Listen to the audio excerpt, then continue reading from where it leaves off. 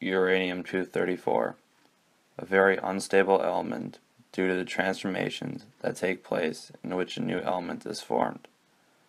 Typically, in this process known as radioactive decay, particles are typically emitted.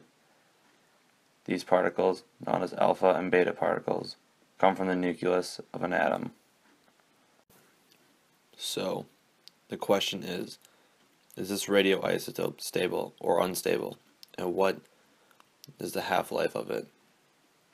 Uranium-234 is extremely unstable and is a potential danger to those who encounter large amounts of the substance. This element has a half-life of 245,000 years. So how is it isolated for use?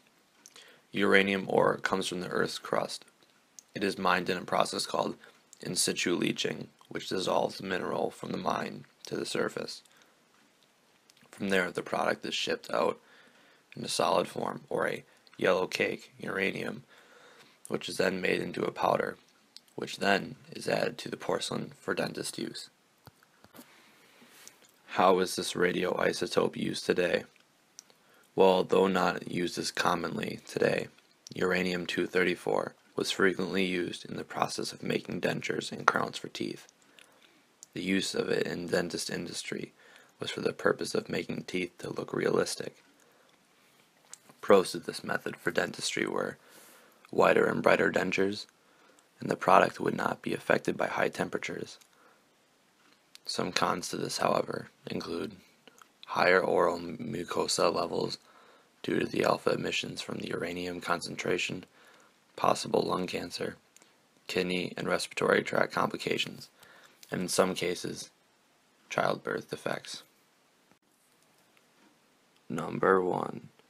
Uranium-234 is one of three kinds of uranium radioisotopes. The other two are uranium-235 and uranium-238. Number 2.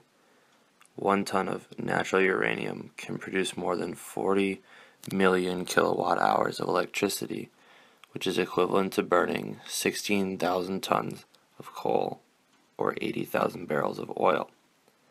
Number 3. Uranium was named after the planet Uranus, which was only found eight years prior to uranium. Number 4. Uranium is the 48th most abundant element found in the crustal rock. Number 5. And as of October 2nd, 2015, uranium cost only $36.60 per pound.